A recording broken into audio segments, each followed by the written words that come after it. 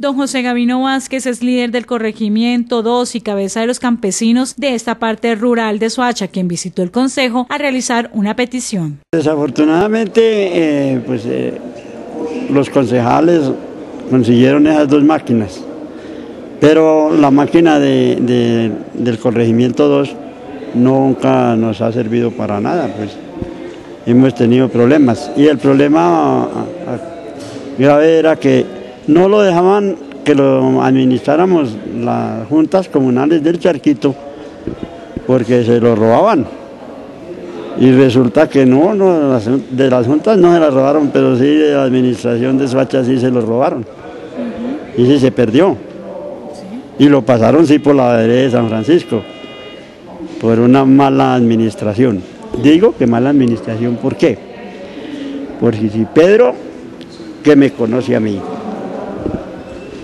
y va un tipo a pedirle la máquina para, para trabajar en la vereda de San Francisco.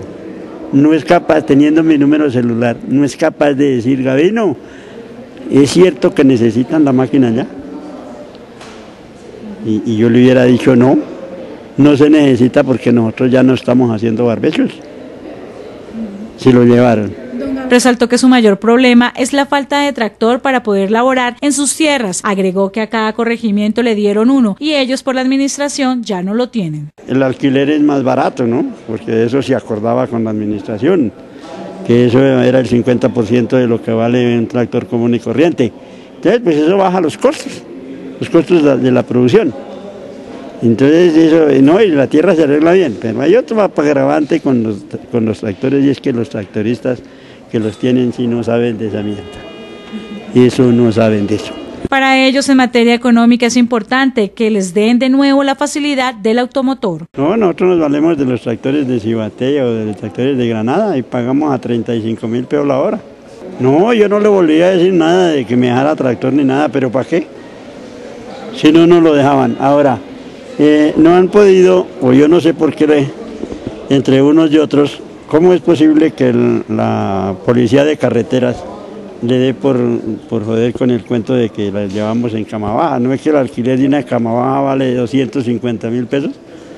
Entonces le salía a uno el triple de caro. lo que me decía Tica Pedro era que, iban a, ver si madrugaban más. Madrugaban a las 5 de la mañana por mamá, por mamarle gallo a los policías.